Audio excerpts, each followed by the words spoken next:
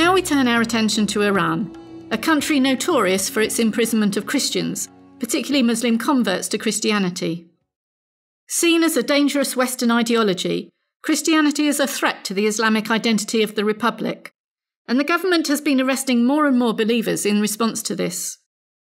Before we properly get going, I just want to update you on the situation for Mariam Naghash Zargaran, a believer from a Muslim background who was arrested four years ago for violating national security through her work with house churches. Well, in August, she was finally freed, praise God.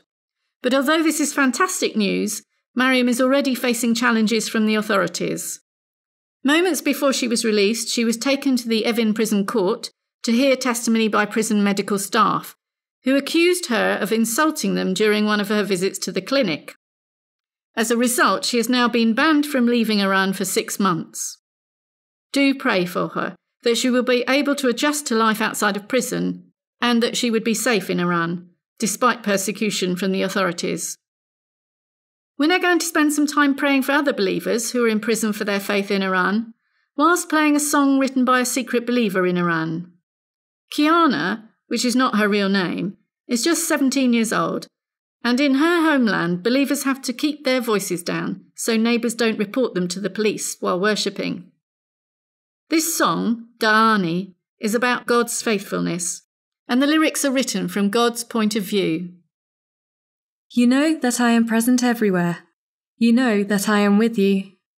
You know I am the only power and ruler. I know your heart is sad sometimes. I know your mind is sometimes afraid.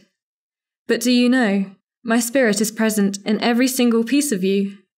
Do you know that I gave my life on the cross for you? You know that I am alive. You know that I am here with you. I know you have faith in me you are everlasting in me. As the song is playing, you might like to hum along quietly and lift up the believers that you see on the screen in your prayers. Please be aware that the situations of these prisoners could change.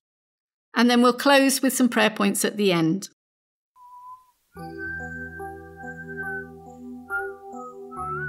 In 2016, at least 193 Christians were arrested or imprisoned in Iran.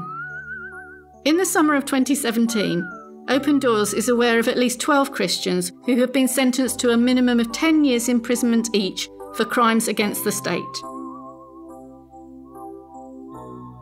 Saheb Fadai, arrested May 2016, sentenced to 10 years in prison. Yasser Masayeb Zadeh, arrested May 2016, sentenced to 10 years in prison. Yusuf Nadarkhani, sentenced to 10 years in prison and two in exile. Mohammad Reza Omidi, sentenced to 10 years in prison and two in exile. Bahram Nasibov, from Azerbaijan, faces 10 years if he ever returns to Iran. Eldar Gurbanov, from Azerbaijan, faces 10 years if he ever returns to Iran. Yusuf Farhadov, from Azerbaijan, also faces 10 years if he returns to Iran. Nasser Navard Goltapeh, Christian convert, appealing against a 10 year sentence. Amin Afshar Naderi, sentenced to 15 years in prison, allowed bail after hunger strike. Kavian Fala Mohammadi, sentenced to 10 years in prison for conducting house churches. Hadi Asghari, sentenced to 10 years in prison conducting house churches. Victor Bet-Tamraz, arrested Christmas 2014, sentenced to 10 years. Rami, son of Victor, on bail for acting against national security. Shamarim Asavi Kabize, wife of Victor, on trial for participating in foreign Christian seminars. Praise God, however, many believers are also being released. Alireza Seyyedian, freed August 2015 after being arrested in 2012. Pastor Farshid Fathi, freed in December 2015 after five years in prison. Saeed Abedini, freed January 2016 after serving over three years.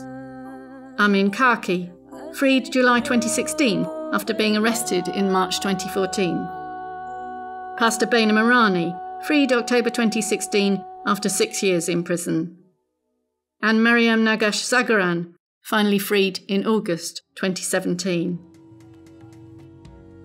Let's now spend some time praying for believers in Iran and the work of God there.